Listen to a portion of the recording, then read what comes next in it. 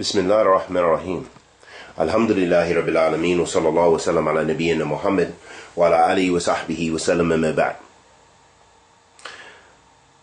A couple of questions arose regarding fasting which opened up a lot of very beneficial uh, principles regarding fasting which we can all benefit from. So it caused uh, it opened the opportunity for us to do research and it opened up some very beneficial masail.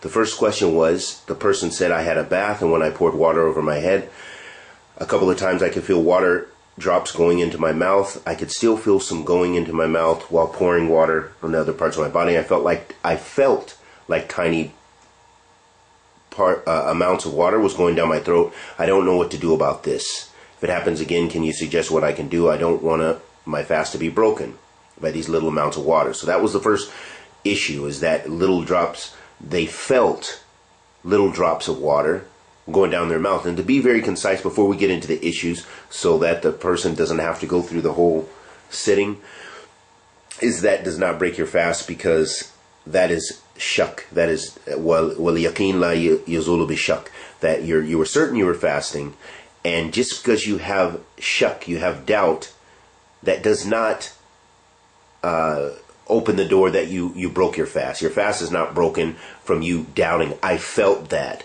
I thought that. You know, you weren't sure. And on top of that, we're going to get into other principles of why that did not break your fast. The second question, when I do wudu, it feels like tiny amounts of water goes down my throat when I put water in my mouth and spit it out. And when I sniff water, it feels like tiny amounts of water go into my mouth and down my throat, etc. So instead I make my index finger wet three times and put them in my nostrils. Can I do this? What else can I do?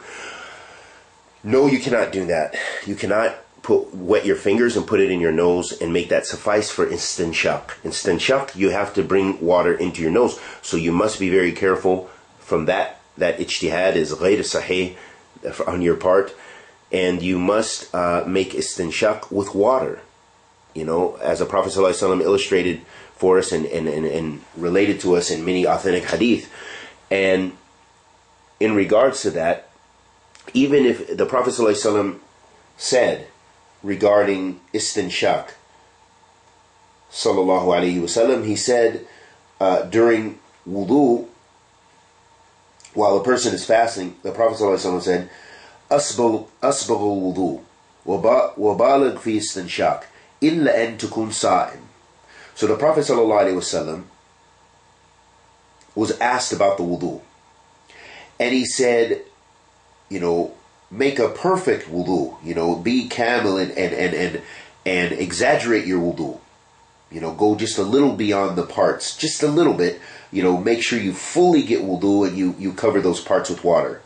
And then he said, "Wabalag fi istinshaq," and he said, you know. You know, make a very thorough istinshaq, meaning taking water into your nose to clean your nose out. Be very thorough, be very complete, and clean out your nose except when fasting. The Prophet ﷺ said, "Illa an tukun sa'im," except when you're fasting. And so the ulama, what do they say about this?